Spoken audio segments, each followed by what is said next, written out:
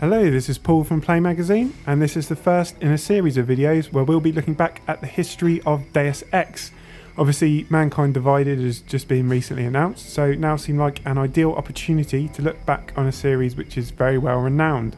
Now, many of you would have played Human Revolution, but may not necessarily have played the original Deus Ex game, so in this video, that's the, the game we'll be focusing on. So part of the point of this is to kind of explain why it is that that game is considered one of the best of all time, why it's so um, revolutionary, why it was such an influence, um, but also to see whether it still holds up today, whether the way people talk about it in those revered tones is, is a function of their their fond memories of the game and, and whether it's actually that good going back and playing it today. As we go on in the series, we'll also cover um, the second Deus Ex game and Human Revolution, but for, for this first episode, it will just be the first game we're looking at. So Deus Ex was originally released in 2000 on PC. There was also a PS2 version in 2002, though I think everyone would accept that that was a, a far inferior version. In the game, you play as JC Denton, who's a member of a government organisation called UNATCO. Much like in Human Revolution, he's cybernetically enhanced, so you can get a, a, variety of abilities throughout the course of the game that change what he's able to do. So, for example, you can get super strength that allows you to move objects that that would perhaps open up new routes for you uh, or you can get a shield which will reduce the damage you take from bullets, that kind of thing. So as you can probably guess from that, this game's got strong RPG element, as well as some first-person shooting mechanics, much like other games in the Deus Ex series. This is far more of an RPG than Human Revolution though. So for example, um, the accuracy of your shots is, is linked to your stats and the stats of your weapons. So it's not just a case of if you point at somebody um, and aim at the right place, you will hit them, like it is in Human Revolution.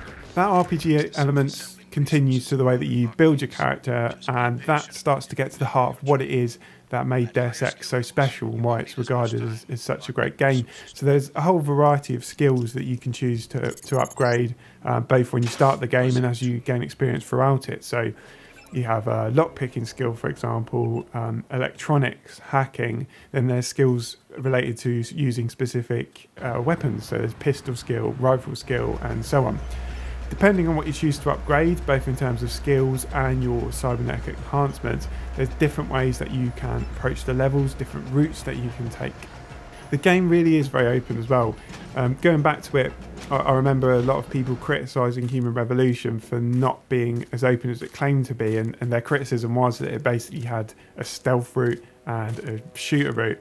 Um, whether that's the case or not, we'll, we'll talk about when we get to Human Revolution. But certainly, the first Deus Ex is, is very open. There's so many different ways you can do it. Early on in the game, I was thinking, oh, maybe this isn't as open as, as we remembered. But playing on a bit further, it, it certainly is. And there, there's so many different ways you can do things. What I think makes Deus Ex special, though, is it doesn't really telegraph the, the choices to you. Obviously, it's making a point of it's up to you how to play the game, but it doesn't ever confront you with, right, now you can decide to do this or you can decide to do this.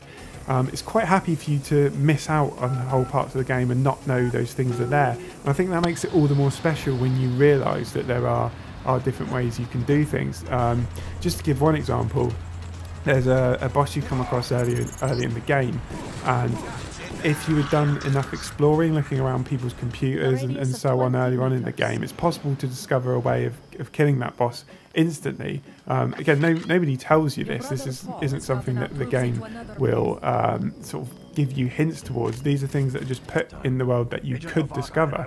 Um, alternatively, you can fight the boss as, as normal and defeat them, or you can actually be, get killed by them and, and the game continues. And I think it's important to remember how mind blowing that was at the time. The fact that the game could respond in such a variety of ways and that you could have that kind of uh, effect on it.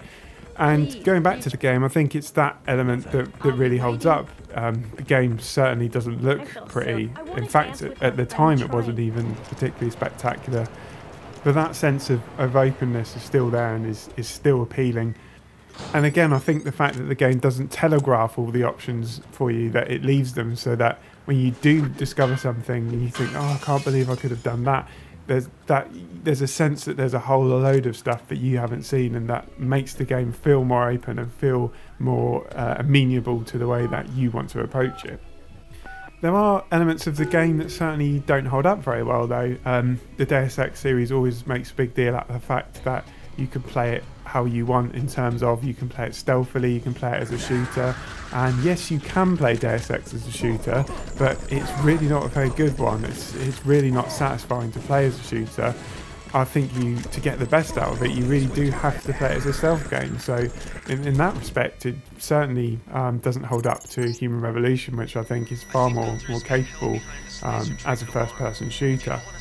Also, there's a lot of um, skills and so on that feel somewhat superfluous. So, to give one example, hacking. All you do to hack is you click a button that says hack, and a bar goes down.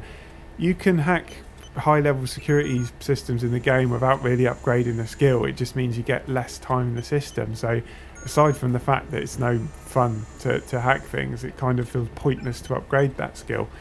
There's things like the, the health system, um, each of your limbs are damaged individually, which is eh, kind of interesting in, in the way that if your legs get damaged then you can't run, for example.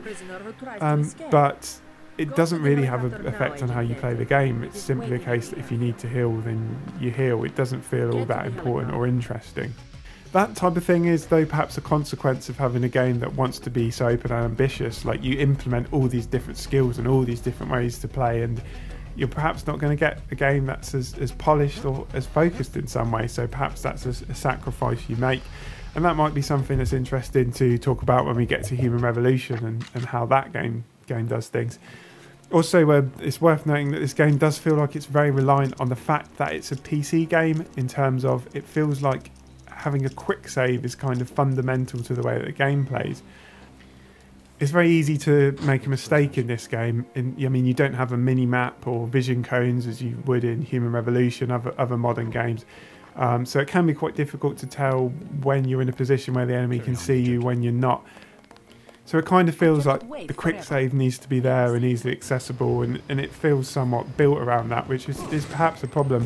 It'll be interesting when we get to Human Revolution, which does have a mini map and vision cones and those sort of things.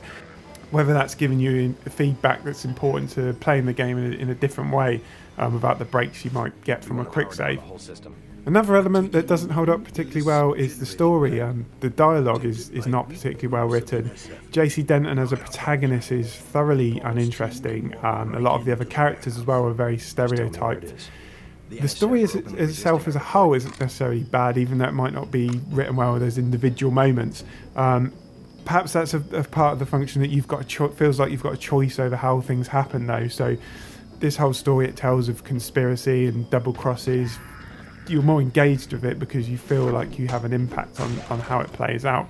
So in that in that way, it's interesting.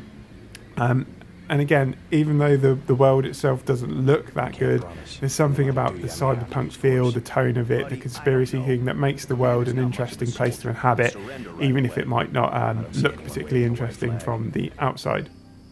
As a whole, though, the, the game definitely holds up. It might be a, a struggle to get used to some of the idiosyncrasies of older games, but it still shines through as a brilliant game, even going back to it all these years later.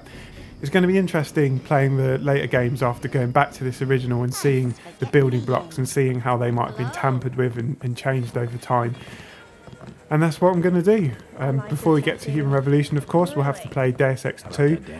It's considered to be, or it was considered to be, not a very good game at the time of release. Um, people have said since that it wasn't as bad as people might have thought. It was just the fact that it was following in the footsteps of, of what some said was the best game ever, and it got a bit of a hot, tough break because of that. But we will find that out in the next episode.